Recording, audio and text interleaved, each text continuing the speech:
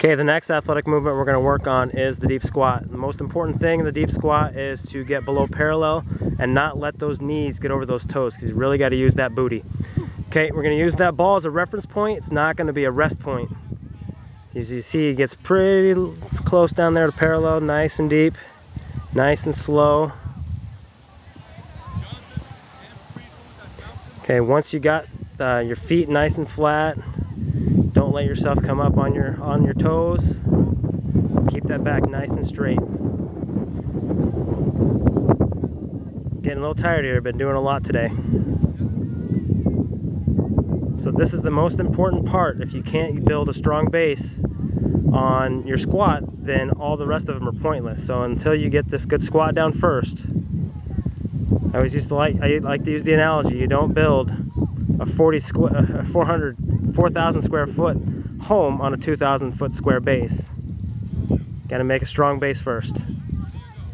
Okay, so the next exercise we're to use is just the rapid squats now. Got to up and down quick. Yep, very good. Again, as you see, is not letting his note, ah, excuse me, his knees get over his toes. Get that back a little straighter. There you go. Good. Excellent. Okay, now what we'll do is we'll incorporate the ball. We'll do a little ball push to this uh, to the sky while you're doing it. Rapid, rapid, rapid. You can use a medicine ball if you have it. Just use this other object. Challenge yourself a little bit more with proprioception. Good. Now you can do the same thing with a little bit of a hop.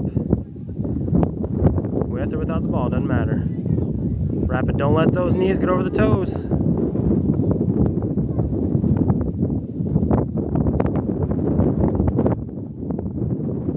Good.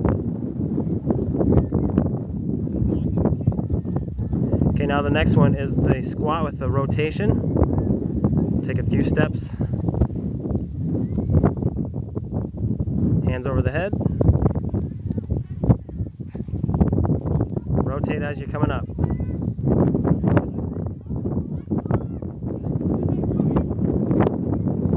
And come on back.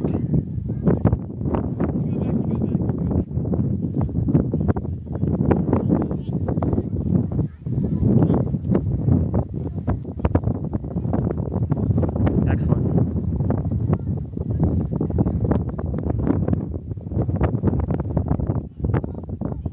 Okay, we're also going to do the ball tosses. So you got to get a good squat.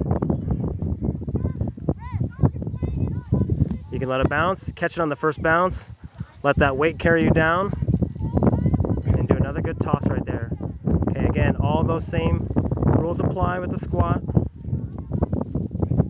You can also catch it on the fly as well. Okay, that's good. Come on back. You can catch the ball or let it get it on the first bounce and get it after that.